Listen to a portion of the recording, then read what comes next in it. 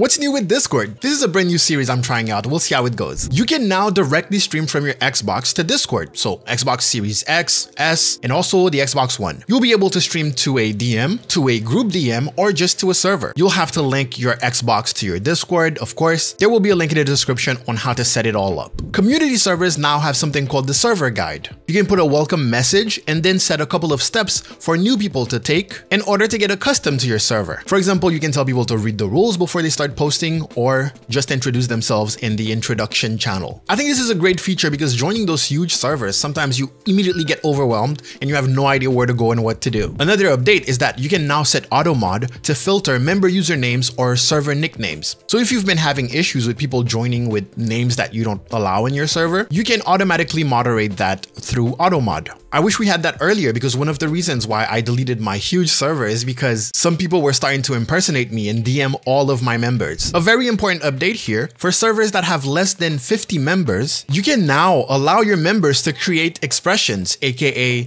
add custom emojis, stickers, and sound to your soundboard. This is huge for small or just private servers because it promotes contribution from all the members and maybe lift up a little bit of that burden from the admin. But also it's really cool that Discord is even thinking about smaller servers and giving us features. Some other news is that you can now buy Nitro gift cards straight from Amazon, although it seems to be limited to the US only for now. As you can see, the choice is 1 month, 12 months, 3 months, 6 months. And in case you missed my video about it, Nitro users have access to something called entrance sounds, where they can set a specific sound to play automatically every time they join a server. They can set one sound to apply to all servers, or pick and choose which server will play which sound. Something else that's new is voice channel statuses. You can see here that when you join, you have a set a channel status, and you can set it to basically describe what's going on. Are you talking about a specific subject? Maybe you're watching a specific game or a specific movie. I think this is really helpful to let people know what's going on in a certain voice channel. And you can also add custom emojis.